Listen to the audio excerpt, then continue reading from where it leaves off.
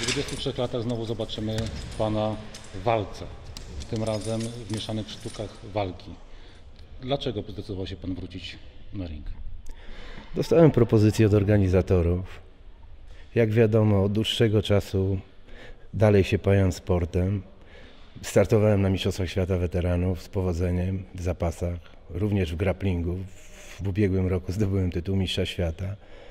Młodzież co prawda wyrasta na mocnych konkurentów, ale chcę pokazać, że tu ludzie z Koszalina nawet i w podeszłym wieku potrafią pokazać niezły sport. W młodzieńczych latach trenowałem kiedyś kyokushinkę i jiu-jitsu, ale japońskie.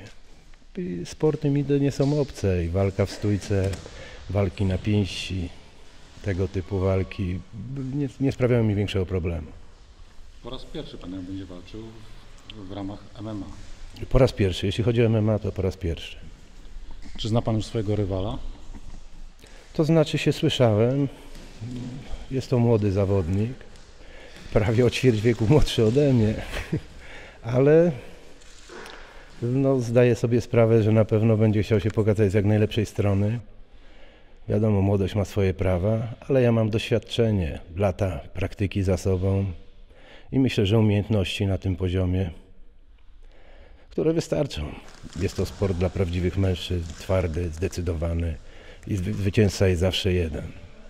Ma Pan swoją też taką przeszłość niezbyt chlubną. Kilka lat nie było Pana z nami. Co Pan może o tym okresie swojego życia powiedzieć? No cóż, zostałem pomówiony, jak to w życiu bywa. Była sytuacja taka, zdarzyło się, pewne osoby mnie pomówiły i z tego tytułu spędziłem trochę czasu, no powiedzmy, odizolowany. Ale wróciłem, czuję się dobrze, sport uprawiam. Udział w, zawodo- w zawodowej gali MMA to także profit czysto finansowy. Czy z tego profitu też jest Pan zadowolony? Nie chciałbym rozmawiać o pieniądzach, dżentelmeni o pieniądzach nie rozmawiają.